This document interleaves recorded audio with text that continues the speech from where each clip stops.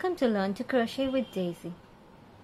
In today's lesson, we will learn how to change colors, attach new yarn and weave in your ends. I have here with me two rows of 10 DC. I will chain 3 and turn for row 3. I'm going to work halfway across and then change colors.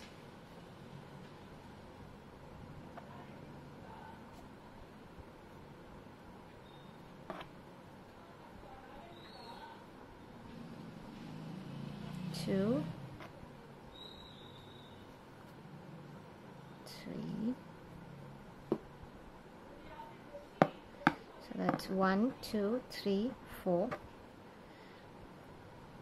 the next one will be my last stitch before I change colors. Begin making a DC like you would normally but don't complete it. Stop when you have two loops left on the hook.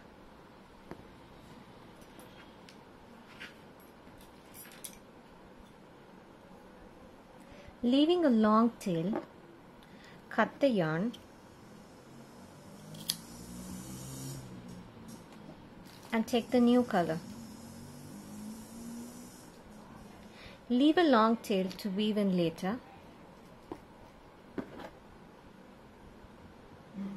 Loop it around your hook like this and pull through completing the previous DC. Continue working normally with the new color.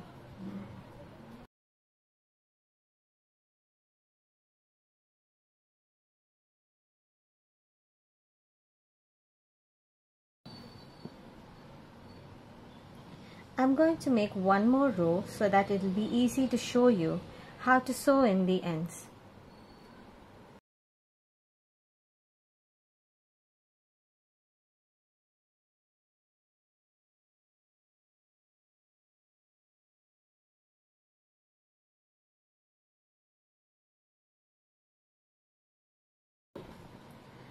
Now I've completed this row. Cut the yarn leaving a long tail.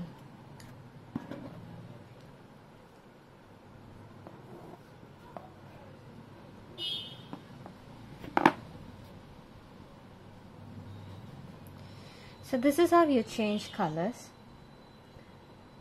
And when changing colors, you need to remember to stop just before completing the previous stitch. Attaching new yarn is exactly the same as changing colors. Instead of adding a different color, you will add new yarn in the same color. So here are our tails. Let us see how to sew them in. While sewing in your tails, there are a few things you need to keep in mind. One, you should sew them into stitches of the same color.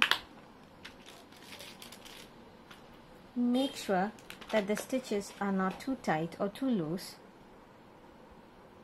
Go back and forth at least three times so that it does not unravel. And each time go into a different place. So here is my yarn needle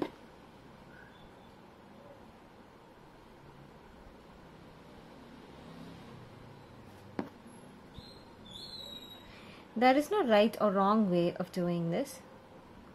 Just insert your hook needle into the same color that you are sewing in.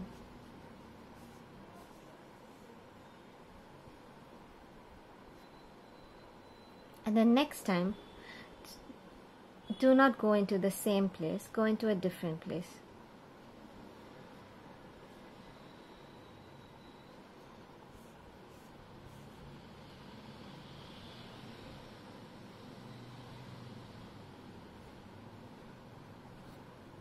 It's important that you don't pull the thread too much.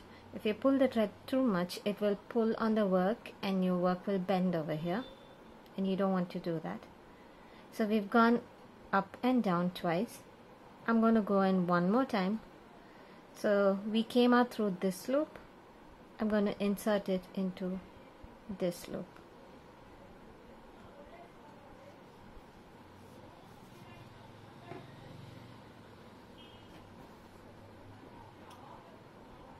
and cut off your yarn. Now this thread is secure.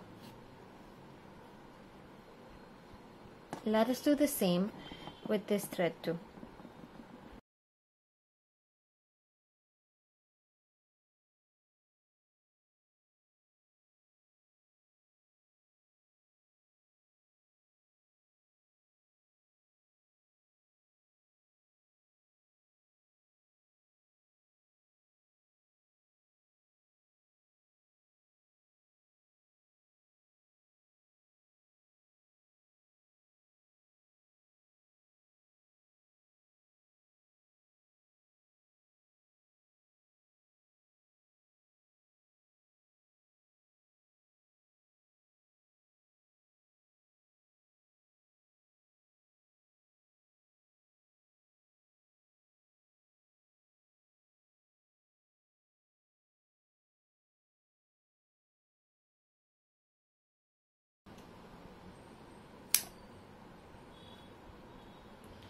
So this is how you change colors, attach new yarn and sew in your ends.